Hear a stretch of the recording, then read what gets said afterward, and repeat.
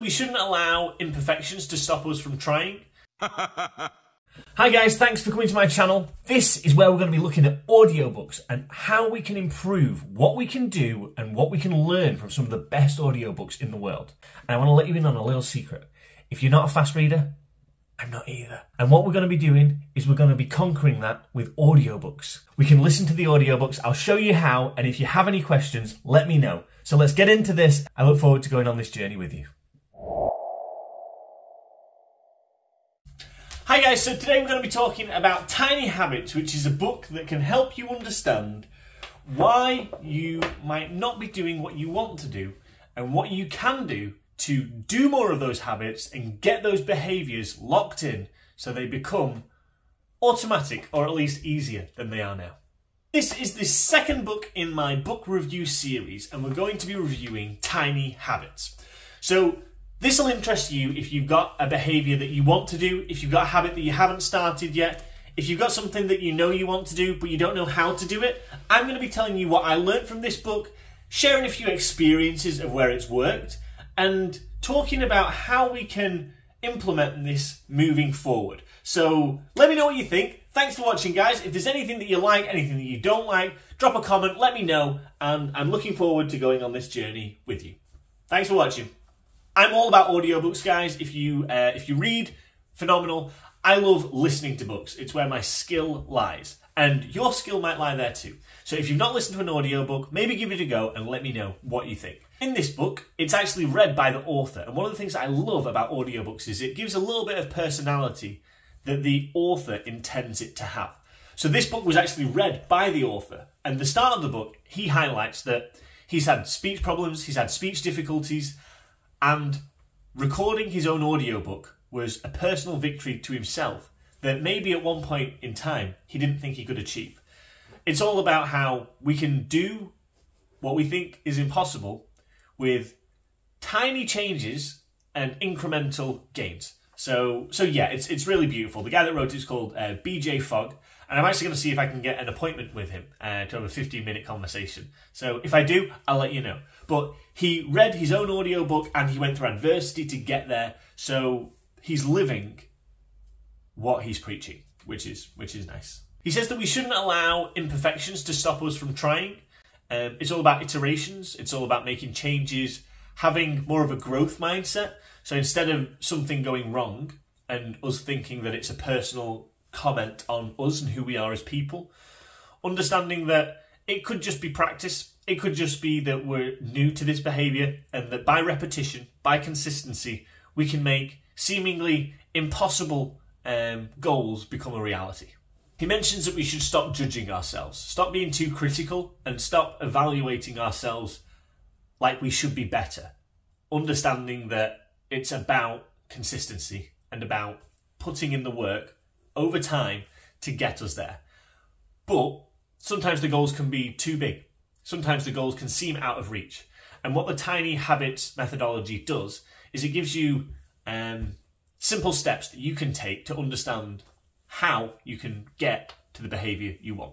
One of the main principles of this book is that people change best by feeling good, and you can essentially shrink a behavior down into a tiny action. So if you want to do 100 press ups a day, but you can't, it can be a bit demoralizing when you try and fail.